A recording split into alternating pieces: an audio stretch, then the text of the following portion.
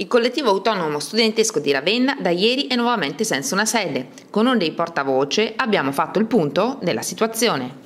Ieri mattina la polizia è arrivata verso le 6 in forze e hanno, hanno sgomberato la, la selva, la, la, nuova selva diciamo. E, però non hanno trovato nessuno perché noi eravamo rimasti lì fino alle 3 di, di notte a presidiare il posto proprio per evitare lo sgombero. Eh, poi però, tutti avevano scuola il giorno dopo, siamo dovuti andare via e avevamo lasciato il posto, diciamo, diciamo a dispetto di quello che è uscito inizialmente sui giornali, no? eh, noi non avevamo lasciato spontaneamente il posto, noi avevamo chiuso la chiave pronti a tornare per il giorno dopo. Poi la polizia non ha trovato nessuno e ha, e ha sgomberato. Eh, quindi adesso, la... adesso che cosa sta succedendo e che cosa succederà?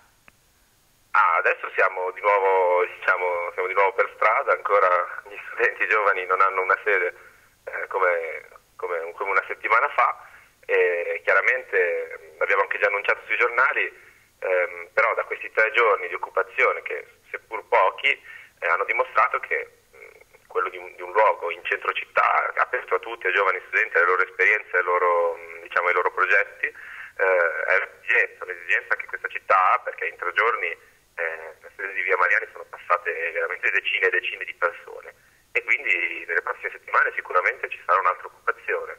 Quindi non solamente una, diciamo, nuove azioni di manifestazione, ma pensate già proprio a, un, a una nuova occupazione? Sì, sì, a questo punto, dato che si è dimostrato essere un bisogno, una, una, una cosa di cui non si può fare a meno, ci sentiamo di annunciare già nuove occupazioni. Senti, da parte delle istituzioni avete avuto dei contatti, il comune, mm, non so, l'assessore Morigi o qualcun altro al posto suo si è fatto sentire? C'è stato un tentativo di un nuovo dialogo oppure al momento la situazione è un po' ferma? No, ehm, siamo rimasti proprio al, al giorno precedente che eravamo andati con l'assessore Morigi in provincia eh, a chiedere insomma, se, se c'erano mm, luoghi disponibili, eh, stanze sfitte in cui poter eh, comunque darci in concessione, diciamo.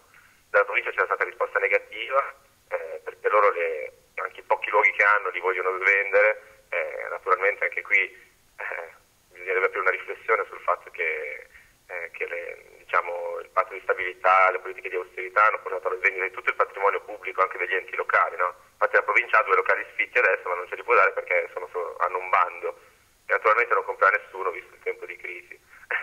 Però comunque sì, l'assessore Morigi poi l'ultima volta ci aveva consigliato di lasciare l'occupazione e poi non ci siamo più sentiti, insomma. Il vostro umore dopo questa esperienza comunque è tutto sommato abbastanza positivo. Ah, sì, diciamo che per noi questa esperienza, seppur breve, è stata vincente da tutti i punti di vista, nel senso eh, siamo riusciti a fare emergere la città, siamo riusciti a costruire, ehm, cioè diciamo che anche se solo in tre giorni eh, un mucchio di, di, di, ragazzi, di studenti si sono avvicinati all'esperienza della selva adesso siamo tanti, determinati e più compatti di prima nel portare avanti questo percorso. Quindi per noi la valutazione è assolutamente positiva. Se ci fosse appunto un privato che ha un luogo e ve lo vuole dare in concessione, per voi potrebbe essere una strada possibile?